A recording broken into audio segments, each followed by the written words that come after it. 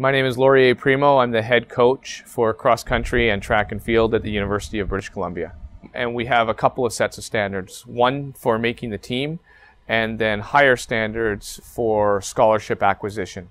The scholarship process works uh, largely through good communication between me and a prospective athlete to get an understanding of what their performances are and where they can fit into our team needs. Um, so there are certain levels that need to be attained in each event. And so it's very specific to the event that the person might be competing in. It's different for shot put, for example, than it is for the 5,000. We value and think that we have very competent coaching and we're putting athletes on national teams, and that's really important. But anyone who comes here should expect to be training six days per week